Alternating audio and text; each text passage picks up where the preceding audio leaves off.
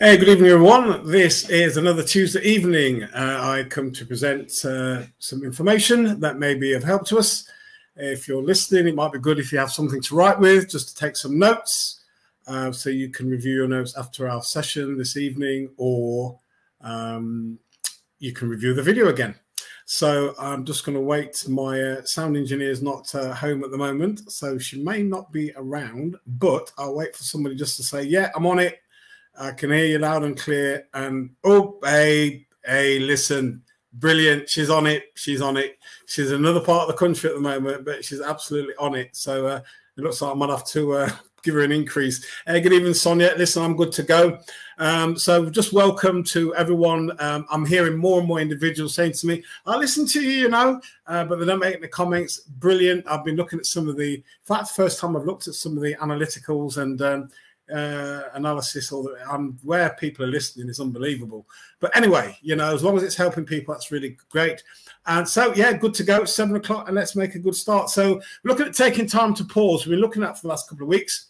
Um, thank you, uh, YouTuber. Um, we've been looking at last couple of weeks. So today we're going to look at it a bit more. Um, so really, pausing it's really really important. And certainly as i've been talking to individuals and they and who've been watching uh, the videos uh, the live broadcast and they're saying how much they need to pause as well take time out.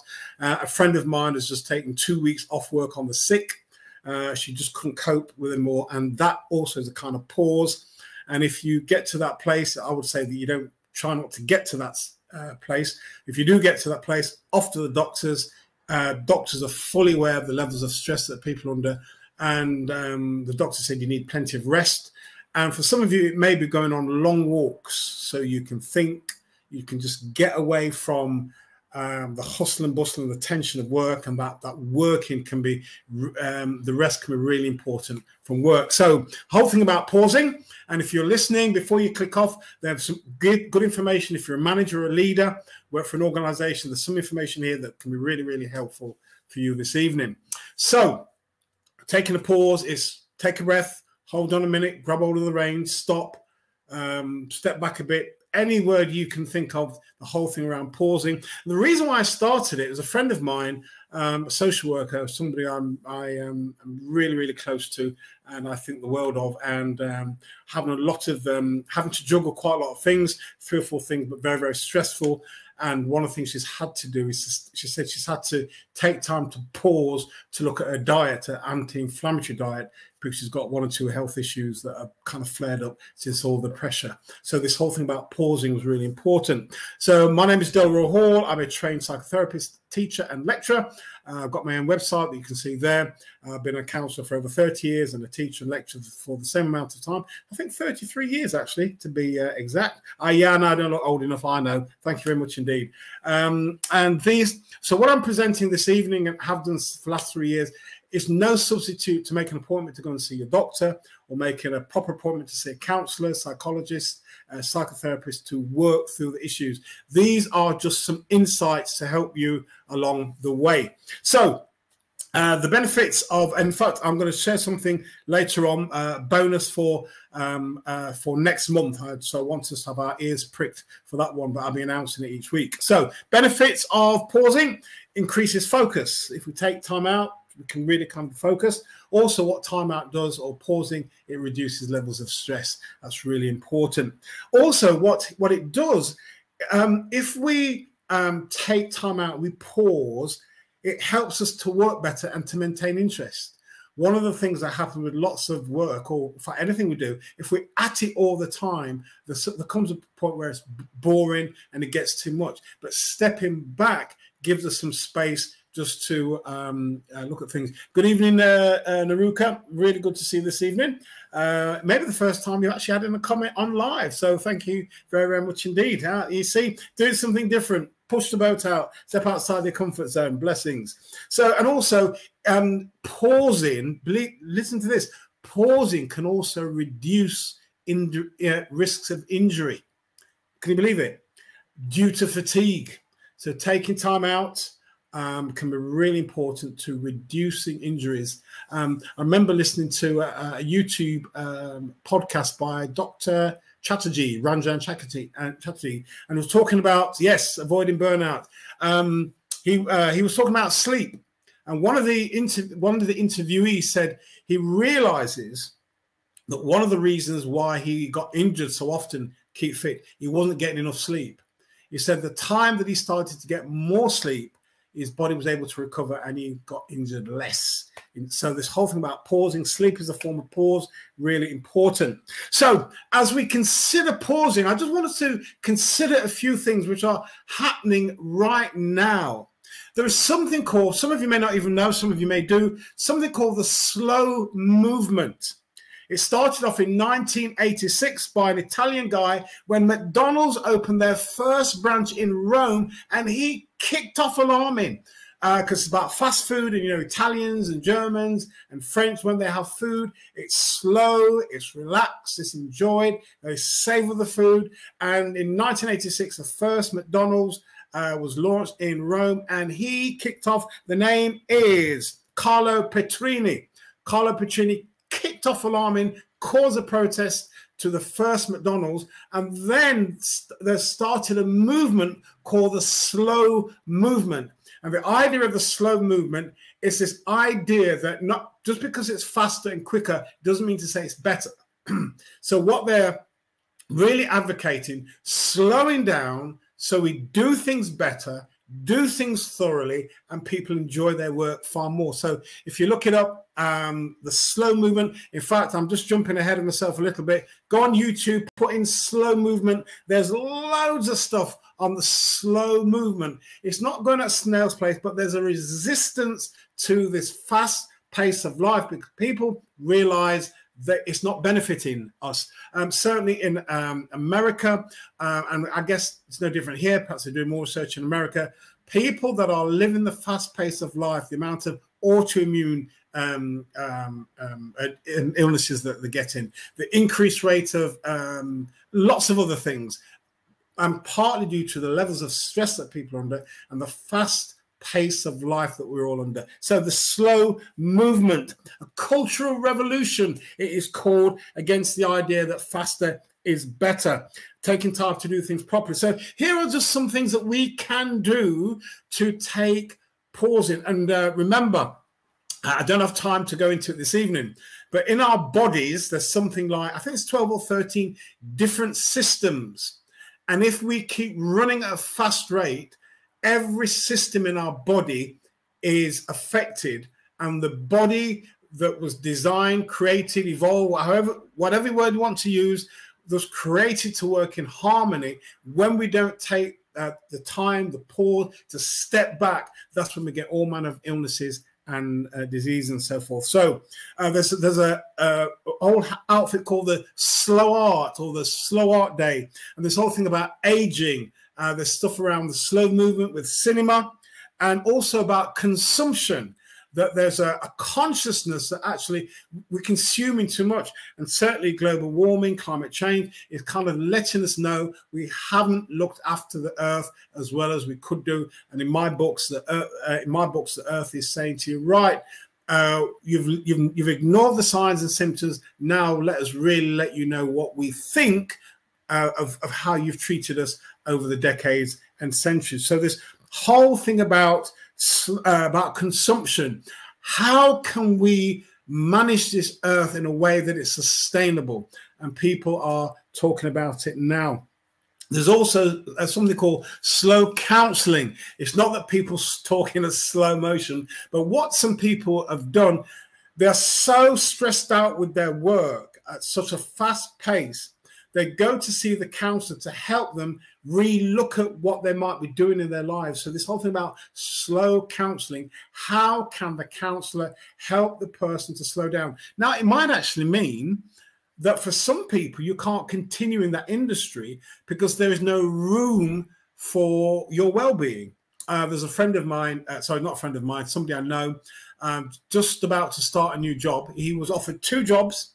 One was five grand more but he took the lesser paid job because he said that the first time he was in an interview and the interviewers told him, We take the well being of our employees seriously. We don't believe in our employees being overstressed. So, this is some of the things that we do. So, um, so he say went for the job with the less amount of money because there was a, a con there was an intentional effort by management to ensure that people uh, were looked after properly. So please, if you've got any comments, you've got any thoughts, uh, please um, uh, put it in the chat box and I'll respond and uh, as best as I can. Also, just to say, I'll announce it now and I'll announce it, announce it at the end. On Tuesday, the 4th of July, I'll make, make sure it's notes and all the rest of it. Tuesday, the 4th of July is an open evening. So I'm not going to have any material uh, planned. So what you can do, if you have any questions about any matter whatsoever, you can email me or you can message me during the week and I will respond to it when we have the live uh, program. So that's Tuesday, the 4th of July at 7 o'clock. It's an open evening. So I'm not going to come with any material. So if you want to, please e uh, DM me, as they call it, e email me. Um, and then I'll be able to um, all the all the requests will be anonymous. I shan't say who said what or who asked what. Um, so it'll give me an opportunity just to have an open evening, open mic, and any issues that you have, please feel that you can bring them Tuesday, the 4th of July at 7 o'clock. And uh, I'm looking forward to it. It'll be a real challenge for me. Okay, let's press on then. So this whole this whole thing about education, slow movement, they've even incorporated slow movement in education. There's something called Lectio, reading, slow reading. I might have mentioned it. Now, Lectio Divina um, comes from a Christian tradition where it's a way of actually understanding the Bible. There's a kind of process and reading the Bible really slowly, but the principle is really, really important. So let me give an example. I don't, I know I've shared it somewhere, but I can't remember where. When I was um, uh, graduating, oh gosh, 10 years ago now, nearly 10 years ago, I sat next to a guy, he was a chaplain at, I think it was Broadmarsh Prison. And uh, we asked each other what our, our thesis was on. So I asked him about his. And um, I can't remember the name of the woman, but he said at 19 he was given this book. 19 years old, he given this book. He said, Delroy tried to read it, couldn't make the head or tail of it, and periodically tried to read this book. And it must have been from the age of 19, in his 20s, in his 30s, he tried to read it. It was boring. And I think he was in his 40s, I think, early 40s. He, he said to himself, This book, he said, this book has traveled with me over the last 20 years Oh, good evening, Jerry. Good to see you this evening. And yes, for anyone that's watching uh, live, anyone that's watching later on, or you're watching in a different part of the world, uh, welcome. And um, yeah, welcome. I hope you're getting uh, something from from this. So. Um, he said that he was given this book at 19 in his 40s after making many attempts to read it. He said to himself, Right, after 20 years, this book has traveled with me and I'm going to find out what this book mean, mean, means. So what he did, he read one sentence and he said, Delroy, I would only go on to the next sentence if I understood the previous sentence. He said it took me nine months to read the book. But he said at the end of the book, he said he realized this woman had something to say, and his PhD thesis was based on the work and associated uh, areas of um, I think some form of theology. I think so. This whole thing about slow reading now. Not every book is, is like that, but there are some books. Those of you that are readers, there are some books you can't, as my friend says, you can't read it and watch TV. You've got to give it your time. And I'm reading um, a book at the minute, and I've i am using a method. I've read it through once, and now I'm reading a method, uh, using a method to go through the book slowly to make lots of notes so I retain it a lot more. So this whole thing about this slow movement, find out about it. Just Google it, slow movement, um, and it'll give you loads of information. We're looking at taking time to pause, importance of pausing, not just for in terms of physical, but emotional, psychological, our entire being really important to pause. Uh, there's something called um, The Thinking Environment by Nancy Kline. She says um, she's a coach but one of the things that she doesn't come to co coaches with models. She says this the reason why people make poor decisions is not they're not given the time to think, they're not given the space. And she's not a cheap coach, she's not, but she has amazing results. So she says she she explains to individuals. She said, um, In fact, one of the latest book is called I promise I won't interrupt. That's what the book is called. So she said the reason why people don't uh, make good decisions, they're not given the time to space to think through what needs to be done. So she'll start the session by saying, okay, what would you like to think, feel, or say? And she said, I will only interrupt you when you have run out of things to say. So somebody can be talking for 10, 15, 20 minutes. She doesn't jump in with the pauses. She allows them to talk. And if they get stuck, she then says, um, what would you what more would you like to think say or feel? And what that is doing that's giving the person the time to work through what they're thinking because quite often we're in such a rush we don't get we don't get the time to think through what we are thinking. So she creates that space um, uh, and it works very very well. I've used it in couples work where I've had sessions where couples come in and they start talking. Um, what is an argument that's going and they're hammering? That uh, was it. Uh, throwing stuff at each, not not not literally, of course, but and you some say, "Whoa, hang on a minute, listen, listen, this is what we're going to do." And I remember one particular couple when I tried it, I said, "Right, you start first, three minutes, and no interruption from me or your part, uh, your spouse." And sometimes you can see the spouse itching, wanting to say something. So no, no, three minutes, and then after that, it's then your time, and uh, then it's your three minutes, and the whole session will carry on like that. I might say very, very little.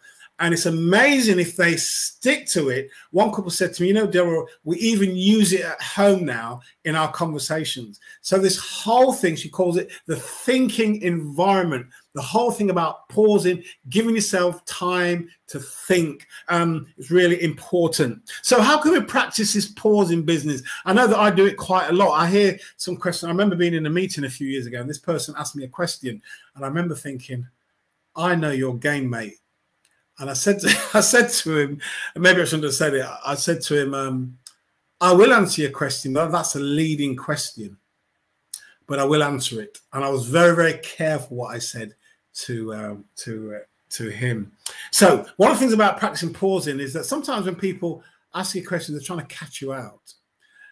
And sometimes they ask tricky questions. And sometimes what we can do, we can jump in. And I'd be saying to you, learn how to pause, just take a step back even say to them, it's an excellent question. Can you give me a moment to think about it? And people really normally they respect that. So what you're doing, you're just gaining some space to offer a thought. Um, so there's a little um, anagram, is it called? Stop, S T O P, S T O P. Uh, S means to stop. Remember to pause. That's really important. So somebody, your manager, your leader, or somebody asks you a tricky question. First thing you do, remember you stop you remember to pause. T is take a few deep breaths. So, what you're doing, you're slowing things down, slowing down the heart rate, slowing down your blood pressure, slowing the breathing down. Why? So you can think clearly, you can think with clarity. Your thinking is not rushed. The body's slowed down so you can function really, really well. So, T, take a few uh, breaths. O is observe your present state. The person's asked the question, are you getting quite angry? It's about being conscious of feeling angry or irritated or agitated. And if that is the case, then you have to be really careful how you respond. So your response then is measured and, and so forth. Incredibly um, important. So stop, uh, stop, pause, uh, remember to pause. T, take a few deep breaths and oh, is to observe your feeling, observe what's going on as this person has asked you this question or this situation, and proceed with awareness. So you've stopped, you take, you've stopped, remember to pause, you're taking a few deep breaths, you're aware what's happening. So you now proceed with awareness. You're conscious of what's taking place and you're more likely not to make a rash decision. Now, that's really important. And what you can, if you learn to do it, it becomes a kind of part of how you kind of operate and function with people. So please, anybody wants to add a comment, please do.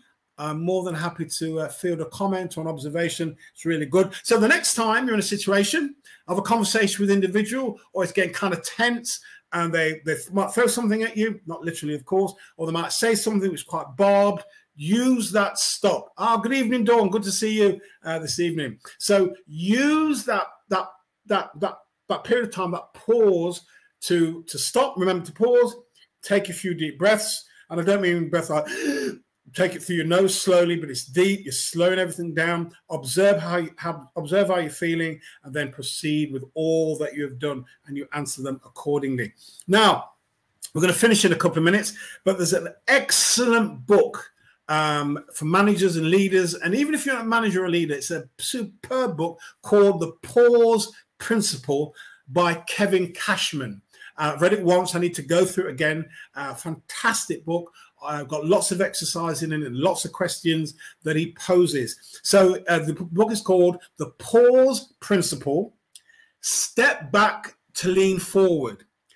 And Kevin Cashman argues very strongly in the book in this world of busyness and this frenetic pace, leaders are not meant to act quickly, but to pause deeply.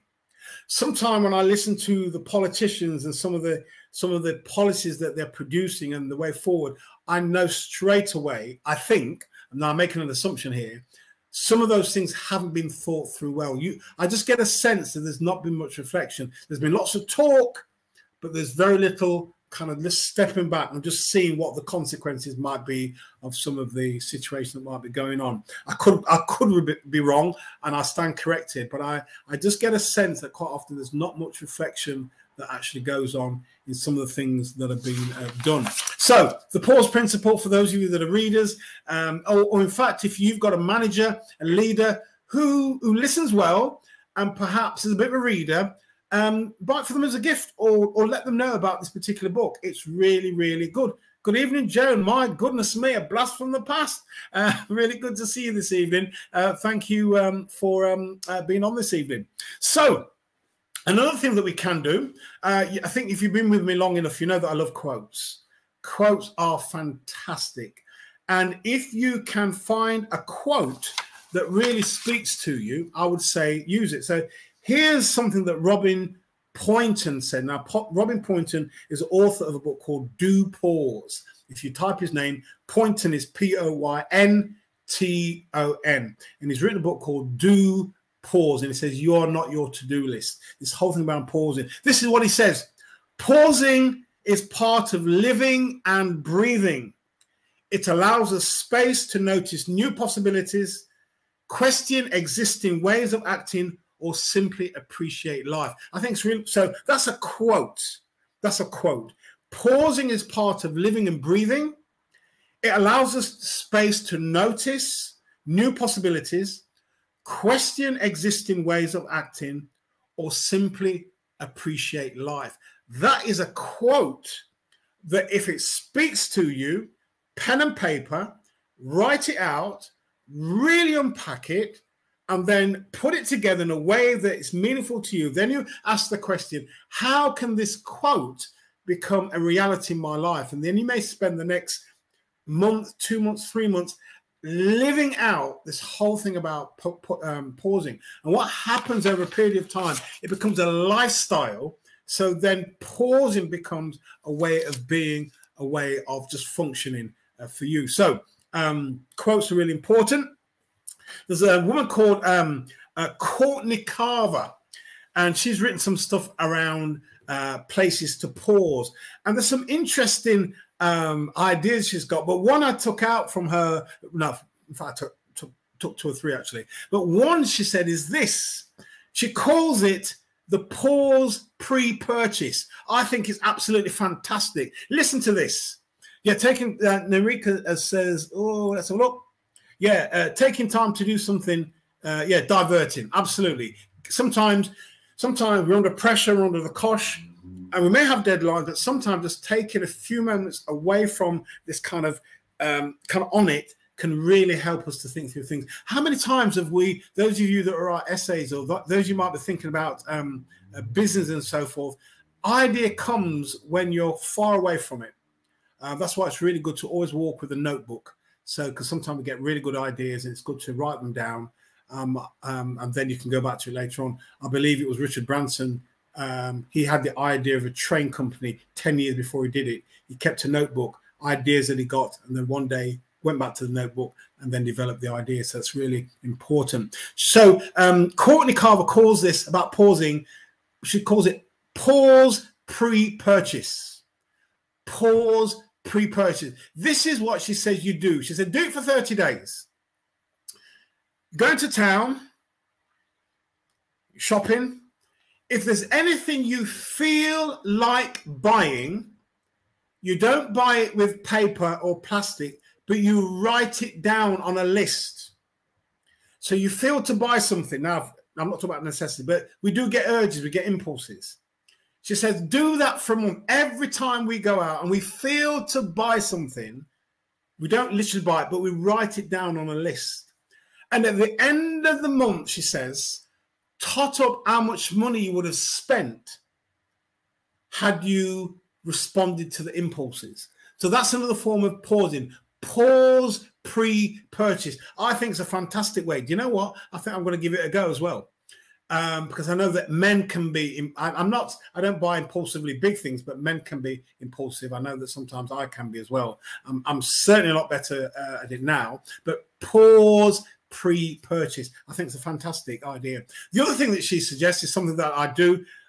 Um, Best ideas come when you're thinking of them. Yeah, and sometimes best ideas come when you're not thinking of them as well. They just kind of pop out. Um, for, um, for, for, for me, for example, if I'm having a shower, sometimes I get some fantastic ideas, something that I wasn't thinking about when I went into the shower, and this idea just pops up. Uh, there's some there's some um, there's some interesting stuff around people getting ideas around water. Um, and I know that um, certainly running water and so forth is really good. Same principle, Olivia is saying something here. Oh, I love this. Same principle for online shopping. Put it in the shopping basket and leave it there. Yeah, you know what? Um, I put a book in the, the shopping basket. Must be 18 months ago. It's still there. Never bought it. Don't need it. Uh, bought 43 quid, and somebody might be saying, "Oh, yeah, the reason why I bought it, you're tight." Well, actually, well, I've not bought it. It's, it's still in the it's still in the basket. So, yeah, this whole thing about pause pre-purchase, I think it's a fantastic idea. Uh, one of the things that she also suggested is something I do every single day. She said, when you wake up, pause before you get out of bed. Just pause before you get out of bed. And I think I said a couple of weeks ago, uh, within the Jewish tradition, um, and this is for anybody, whether you you have faith, you don't have faith, you don't believe in the existence of deity and so forth. Before you get out the bed, first breath, you give thanks. You just give thanks and there's lots of things to give thanks for. You don't have to be thank, uh, thanking a, a, deity. This whole thing around gratitude, just giving thanks, pausing before you get out the day. And um, also, the other thing she talks about, which I think is really important, pause when you've been hurt. What happens sometimes when arguments escalate, we've been hurt and then we and we retaliate with our words and we say something back and then things escalate. She says, pause when you hurt, pause when you receive the criticism. It can, I know that it can help a lot in, in relationships if you just pause and sometimes just asking somebody, why did you say that? Just either get them, just helping them to kind of explain what was taking place. So this whole thing about pause when you're hurt is really important. She talks about pausing. Uh, uh, here, here we go. Yeah, I've got a few things in the shopping basket sometimes, still don't need them. Absolutely. And, and, and can you imagine we would have spent loads of money? So this pause pre-purchase. If you try it over the next week or two weeks or the month, let me know how you get on. That's really important. I'm going to finish in a couple of minutes. She also talks about pausing during a meal. I'd even say pausing do your course not like restaurants, you know, they, you know, you finish one and before it's even gone down properly, onto the next course and they want to get you out because they want people in as quickly as possible. Um, having meals together, I, I suspect what's going to happen as if things do continue to increase in price, people are going to have more meals at home and they're going to invite the friends and then you, you will then enjoy the food, enjoy the company because you're taking time to pause. You're not under pressure to eat quickly, get out the restaurant as quickly as possible.